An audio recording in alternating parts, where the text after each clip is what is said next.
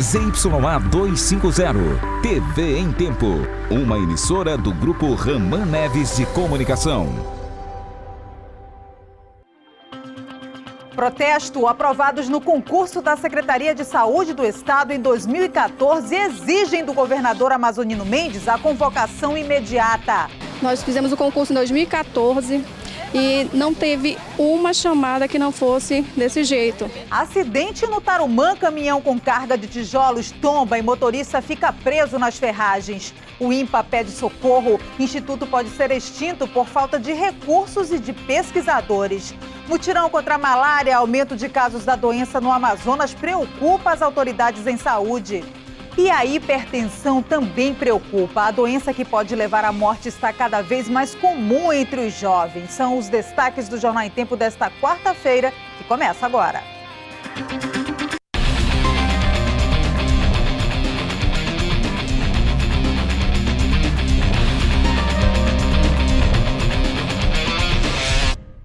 Olá, boa noite. Hoje pela manhã, os aprovados no concurso da Suzan de 2014 fizeram um protesto na Avenida André Araújo, em frente à sede do órgão. Eles exigem do governador Amazonino Mendes a convocação imediata. A manifestação foi em frente à sede da Secretaria de Saúde do Amazonas. Os trabalhadores fecharam parcialmente a Avenida André Araújo, deixando o trânsito sentido centro-bairro bem complicado. Eles reivindicam a convocação dentro do número de vagas do concurso realizado em 2014, mas até agora ninguém foi chamado. São quase quatro anos de espera. Nós fizemos o concurso em 2014 e não teve uma chamada que não fosse desse jeito, na guerra, na luta, de vir para cá, para frente da Suzan, reivindicar o que é nosso por direito. Médicos, enfermeiros, técnicos, auxiliares de serviços gerais fizeram parte do protesto. Concursados do interior também pediram a convocação imediata. Acho um desrespeito muito grande a pessoa que se dedica, estuda e no final das contas não é chamado, sonhos são sido né, estagnados. Então estamos lutando a favor dessa vaga. Foram 2.669 concursados que esperam a convocação. Este ano, houve um chamado referente ao ano de 2017. Nós estamos há mais de três anos esperando uma resposta do governador, que é a nossa convocação. Segundo eles, o governo diz que não chamou ninguém pela falta de orçamento.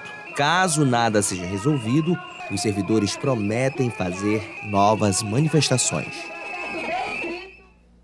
Pois é, e na Assembleia Legislativa do Estado, a votação da emenda que prevê o reajuste salarial para os servidores da saúde foi adiada para a semana que vem. E olha, as discussões devem ser longas, porque a categoria não aceita o percentual de reajuste oferecido pelo governo.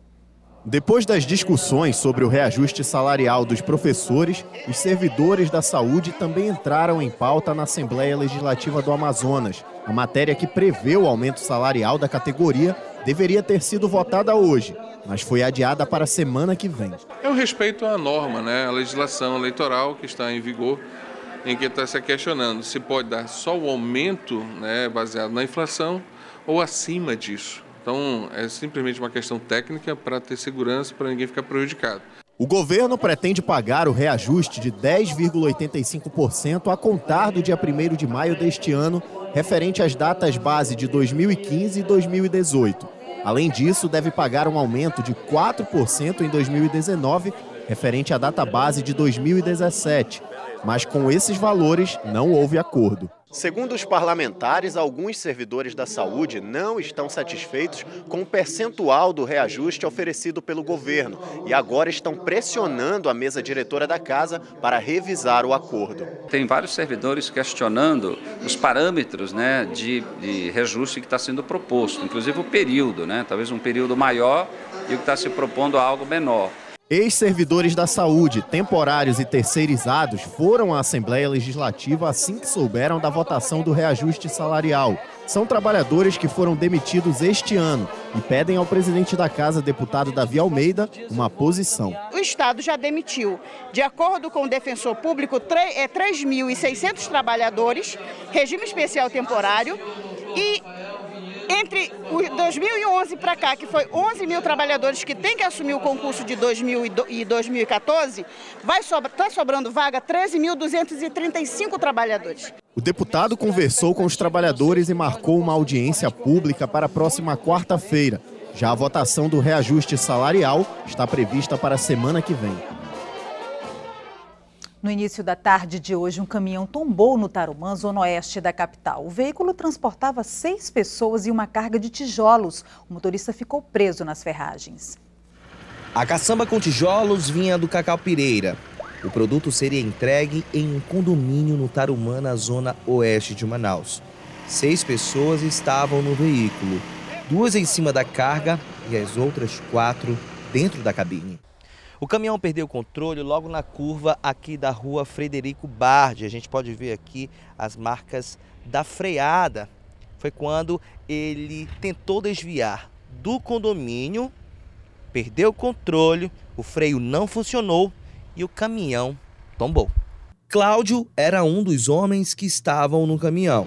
O motorista ficou preso nas ferragens e foi retirado pelo corpo de bombeiros.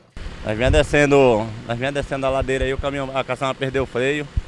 Aí nós ia entrar nesse muro aí, nós puxamos o volante para correr, aquela capotou. Nós chegamos, a, o motorista já estava preso nas ferragens, foi usado o equipamento nosso, o desencarcerador. Nós retiramos e repassamos a guarnição do SAMU. Cláudio e os outros cinco feridos foram encaminhados ao pronto-socorro 28 de agosto. A seguir, Ministério Público do Amazonas protocola a denúncia contra o desembargador aposentado Rafael Romano. Ele é suspeito de abusar sexualmente da neta. É o que você vê depois do intervalo.